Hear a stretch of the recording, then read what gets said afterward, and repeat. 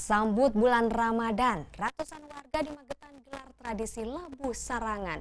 Tumpeng raksasa dilarung serta diperebutkan ribuan warga untuk mensucikan diri.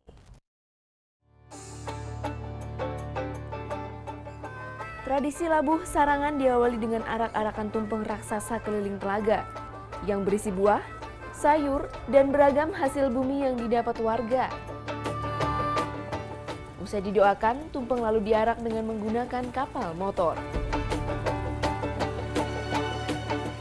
Puncaknya, tumpeng lalu dilarung di tengah telaga Sarangan yang ditujukan pada penyucian diri jelang datangnya bulan Ramadan. Melestarikan budaya Jawa ini. Kemudian yang kedua ini e, menarik para wisatawan. Kemudian yang ketiga ini merupakan e, event dari Kabupaten Magetan. Jadi e, ini untuk menggali PAD juga. Meski mengaku antusias, sejumlah pengunjung yang ingin menyaksikan prosesi keluhkan akses jalan yang kurang memadai.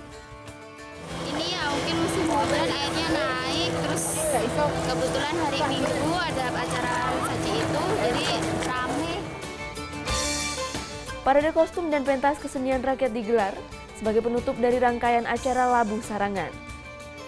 Selain ungkap rasa syukur, ajang ini juga bertujuan kenalkan potensi wisata Telaga Sarangan pada wisatawan. Sony Misdananto melaporkan untuk NET.